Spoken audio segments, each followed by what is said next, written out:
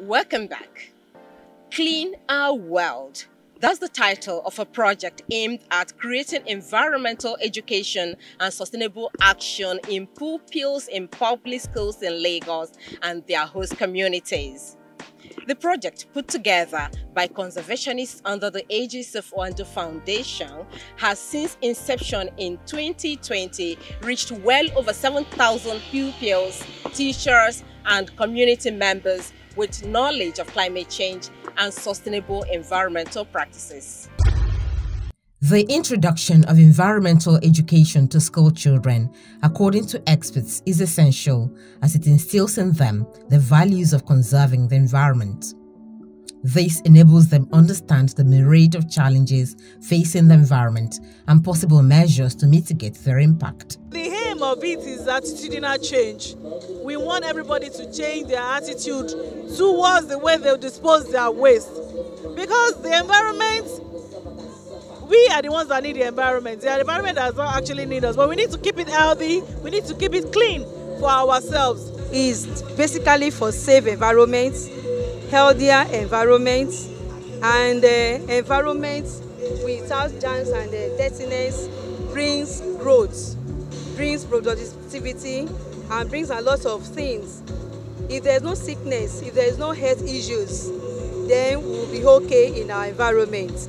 It was in a bid to promote environmental education and sustainable action for pupils in target schools in Lagos and their host communities that these volunteers and activists are gathered. It is good to work, clean our environment. It is good to work, clean our environment. It is good to manage our waste for the sake of ourselves, our children, and our what? Our community. And part of the project is that we're going to be collecting plastic waste from the community. Because some of those waste, you can reuse them and use them to do what? Do new things, make new things. So right now we're cleaning this entire street, right?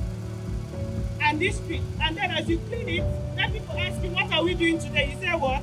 It's Clean Our World project. Tagged Clean Our World, the project, which has reached over 7,000 pupils, teachers, and community members, has also encouraged them to adopt eco-friendly lifestyle. We want a community where these people can actually carry out these programs even when we are not there, even when we are not present. So beyond our intervention, beyond our presence, we want to see these people come together and say, okay, let us do this, let us clean up our environments, let us contribute to the global climate um, action and, and the entire campaign. And what this tries to achieve is to ensure that we instill the art of volunteerism in these children, that while they are growing up, they should have it at the back of their mind that cleanliness is next to uh, godliness. Our focus is to ensure that we are raising environmentally responsible citizens, and this uh, an aspect, or this is the way we tend to key into projects like this to ensure that we're getting people raised environmentally. Very good.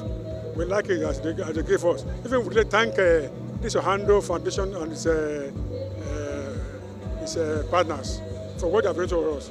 It encourages us to be cleaning our environment very tidy so that we will not any in time. The volunteers cleared blocked drains, swept the surroundings, sorted and disposed accumulated waste in Mushin community in Lagos.